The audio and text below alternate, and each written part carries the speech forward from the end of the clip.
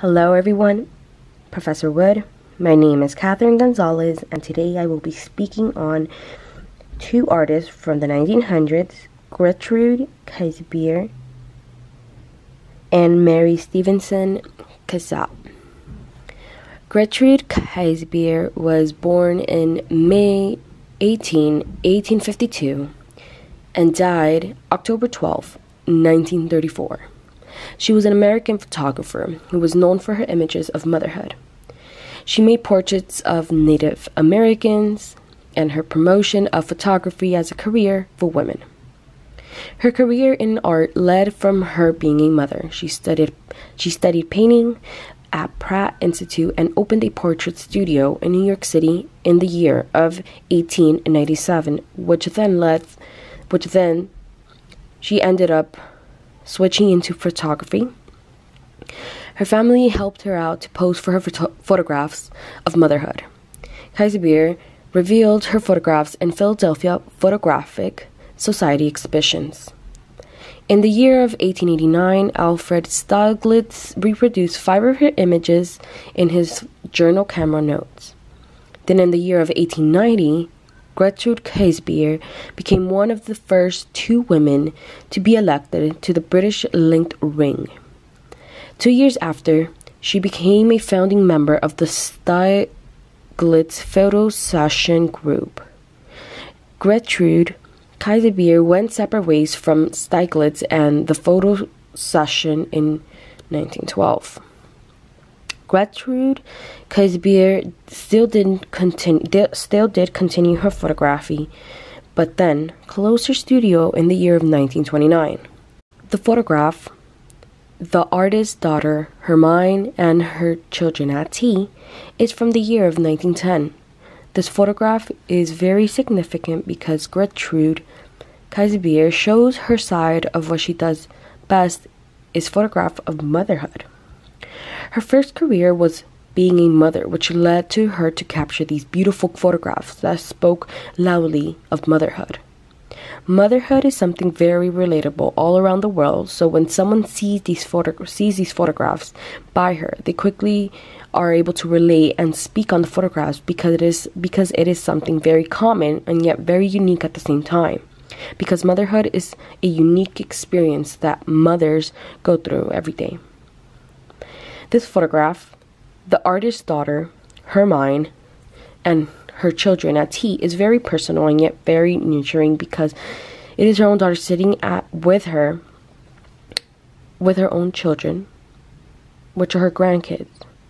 The photograph captures a moment of a mother sitting outside with her children while having a cup of tea. It truly represents motherhood at every angle because you can see that she has her children by her side. This might be just a moment to enjoy that cup of tea, but as a mother, you always have your children along right beside you. In this photograph, you are able to see how the surrounding of the image is darkened. You are able to see how the shadows from behind, such as trees, the grass, even the shadowing from the cat's fur below. Then you have the light focus on the mother and her children, but especially the mother. The light hits right and center, reflecting on the mother and children. From the light color, from their clothing to the tea silverware, the image, image perfectly captures and focuses on the mother and her children while having tea. The boy watching the kitty eat, and the little girl standing from behind while holding a branch in her hand. In this photograph, the image seems to be perfectly clear on that on the mother, and the children's face faces seem to be a bit blur. Now we're going to speak on Mary Stevenson Cassatt. Mary Stevenson Cassatt was an American paint and paint maker. She was born on May 22, 1844, and died in June 1926. She was born in the city of Allegheny, Allegheny in Pennsylvania, but she lived most of her adult life in France. When in France, she became friends with Edgar Degas and revealed her impression, impressionism. Mary Stevenson Cassatt often did create paintings of social and private lives of women, and she also did paintings of intimate bonds between mothers and children. Cassatt grew up in an environment where she viewed travel. She spent five years in Europe and visited many of the capitals, such as London and Paris and Berlin. Cassatt had her first lessons in drawing and music while she was overseas and ended up learning German and French. The oil painting Francoise in a round chair reading from 1909 is one of her very known paintings. Mary Stevenson Cassatt was very known for her drawings and paintings of children. Most of these paintings and drawings were all so very realistic looking. She had such talent to make these paintings or drawings come to life. In this painting, Francoise in a round chair reading.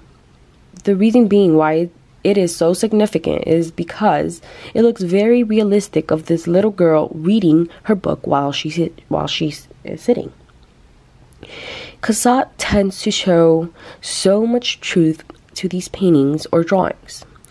They seem to come to life and become so vivid, and the paintings of children or mothers with their children seem to be so common. Something that we all have seen before or have gone through as children with, par- with their parents. The paintings and drawings are very relatable, and that just lets the audience have a common relationship, something that just touches us within. In the painting of Francoise in a round chair reading, there seems to be a little girl who is reading a book as she sits in a room. She seems to be very focused, as if she does not know that there are people looking at her.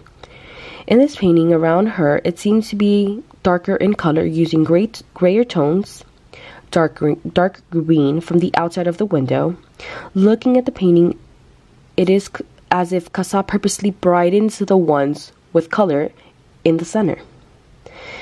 As the main focus being the little girl reading. Even though the painting is of this little girl reading the book, the book does not seem to get much of the attention. The book is a darker blue shade, which just does not seem to get your attention as you look at it. As you take a look at the painting, the focus tends to be on the little girl looking down to her book. Her dress, hair, bow, her skin tone just seems to be a little, a bit lighter tone. As if there is light that reflects on her to be the main, so it could be the main focus of the painting. In this painting, there is a window in the back but still does not seem to catch the attention as, li- as the little girl. Cassatt seems to make it very loud and clear to who she wants her audience to focus on. It all just ties in all very well. She makes it seem as if there is to be a spotlight in this painting, and that would be on the little girl reading the book.